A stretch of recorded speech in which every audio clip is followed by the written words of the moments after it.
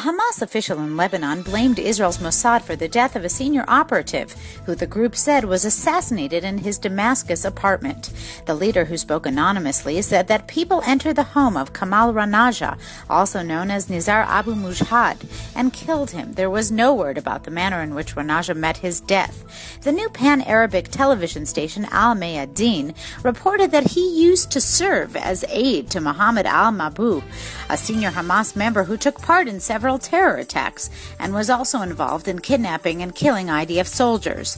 Mabhouh was assassinated in Dubai in 2010.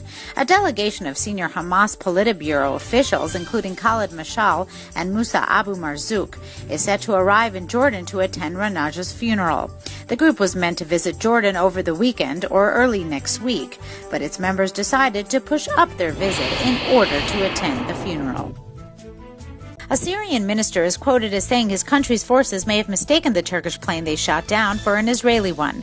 Turkish and Israeli fighter jets were mostly U.S. made, which may have led the Syrian forces to mistake it for an Israeli jet. Syrian news outlets quoted a military expert as saying that the anti aircraft weapons used to down the Turkish fighter jet last weekend were made in Iran.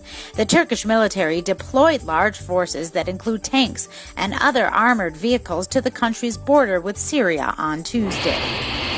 The government is allocating 355 million shekels for the improvements to sewerage systems in Arab locales. Energy and Water Resources Minister Uzi Landau announced the allocation, but not before an environmental group warns that without regular budgets, the systems will collapse again. Last winter, the government approved an 800 million shekel plan for economic development in the Arab sector. The plan includes public investments in infrastructures and job training.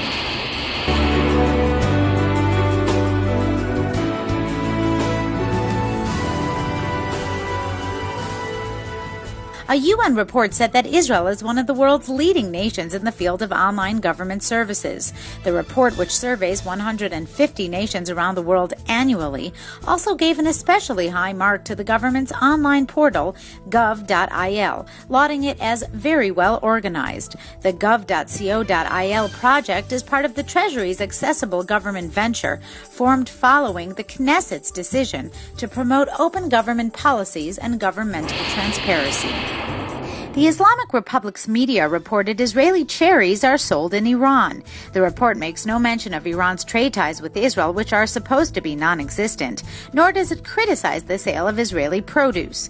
Other media reports in Iran quote a rather predictable comment by an Iranian trade ministry official saying that importing Israeli goods of any kind is prohibited.